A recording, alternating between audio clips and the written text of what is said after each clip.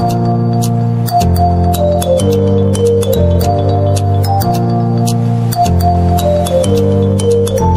today's video or vlog, we are going to ferment a fish or what we call ginamos. However, um, the fish available in the market is not, I mean, not that small or the typical fish that we are going to use when we are going to ferment or when we are going to prepare ginamos. So instead of having bulinaw, um, I select another variety of fish um, so that we can still um, ferment it. So I have here, um, I don't know what kind of fish is this, but this is uh, what I'm going to use or to utilize. So I only have four, so maybe this is enough um, for me. Right, so first let's wash. We're done with um, washing. We are going to debone or get the flesh of the fish here, this side and this side.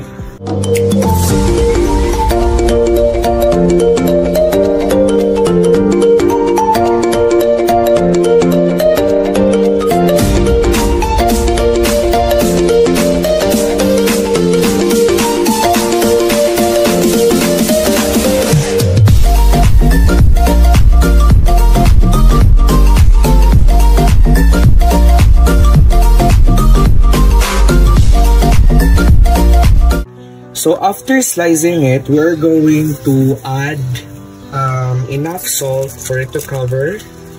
And then we're going to squeeze it.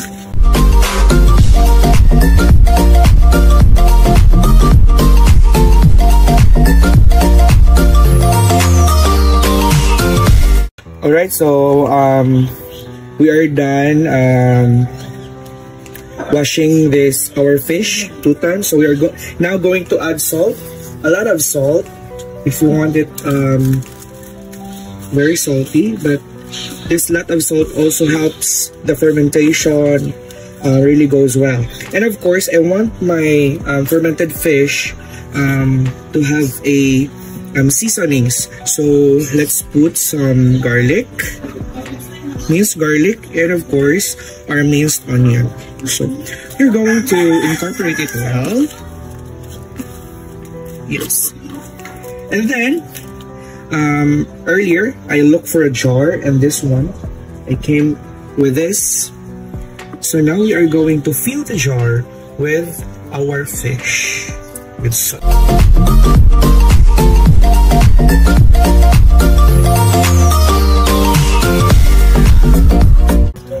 Let's wait for two weeks, two to three weeks, or at least a month so that we can enjoy our fermented fish.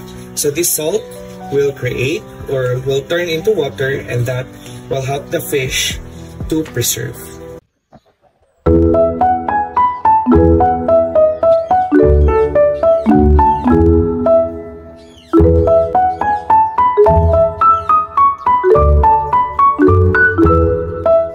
Thanks for watching.